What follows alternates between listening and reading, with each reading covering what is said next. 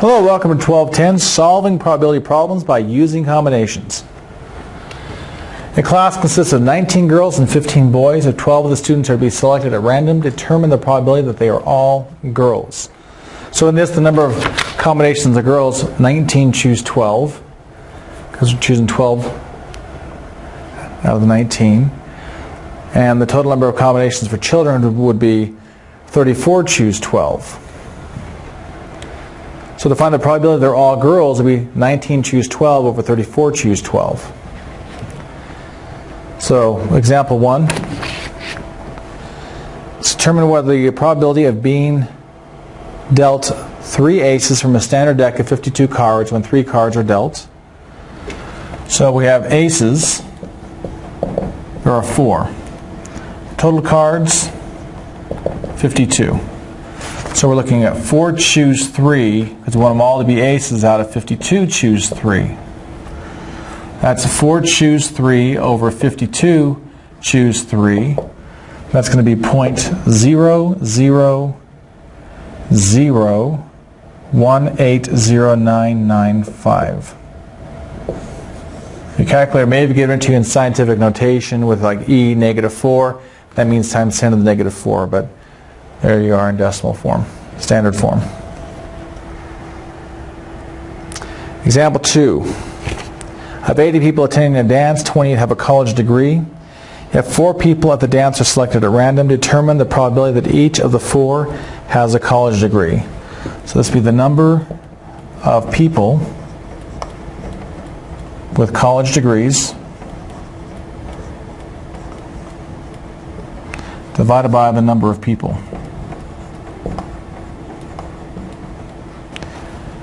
Okay. So what are the probability that um, four the four people chosen have college degrees? So 28 choose four over 80 people. 80 choose four. That's going to be 0.01295.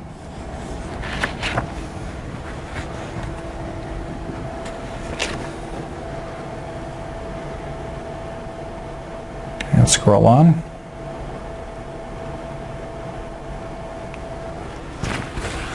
Duc Tran Wall contains eight bills of the following denominations: four bills, four $5 bills, two $10 bills, and one $20 bill, and one $50 bill.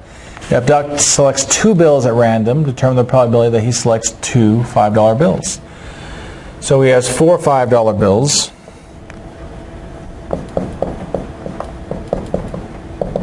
So it's going to be four choose two, and there's a total of eight bills. Eight choose two. So it's going to be 4 choose 2 over 8 choose 2. Should be a subscript there. And that's going to be 0.2142857 or 3 fourteenths.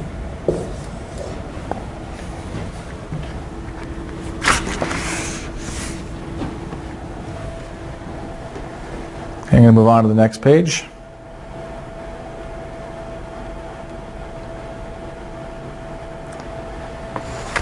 Oh, I'm not a big uh, poker player or card player. I like games like gin and things like that, but not big on poker, so I'm always knowing the hands.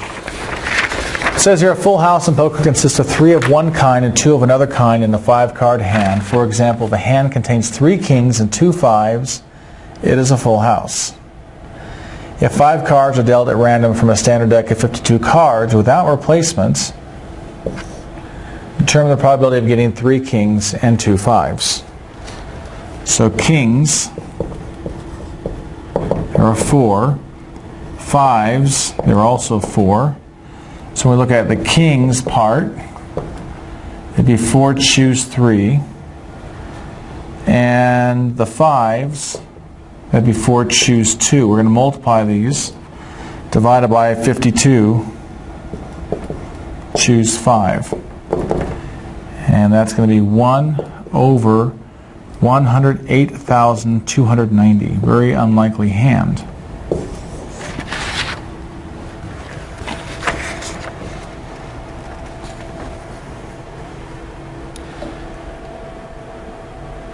10. So it's four kings, that's what's four choose three because we're having three kings and two fives, so four choose two.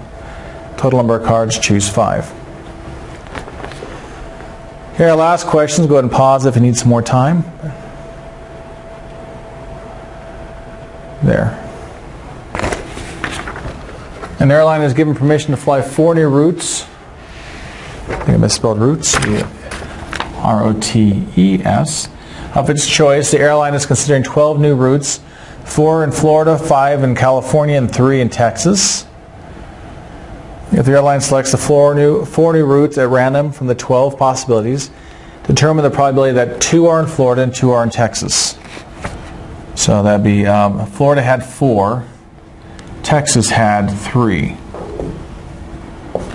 That would be four choose two times three choose two over 12 choose four.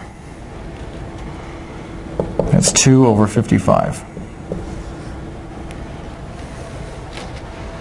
What's the probability of three are in California, one is in Florida? California has five routes. So for California, that's five choose three times Florida was four choose one over 12 choose four. That's 8 over 99.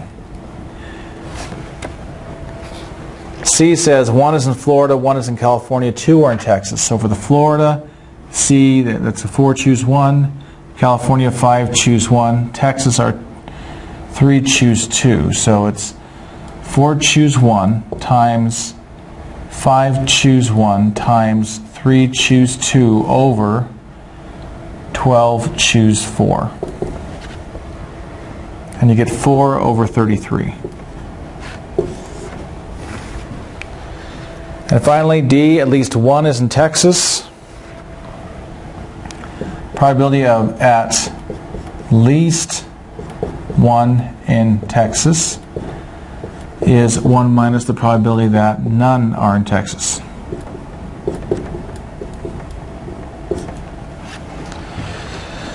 So Texas has three flights.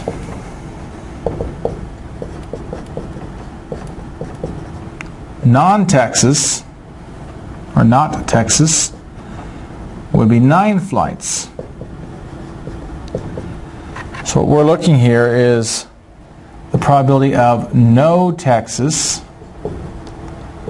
is 9 choose 4 over 12 choose 4.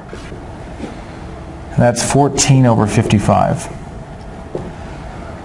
So the probability of at least 1 Texas is going to be 1 minus 14 over 55, which is 41 over 55.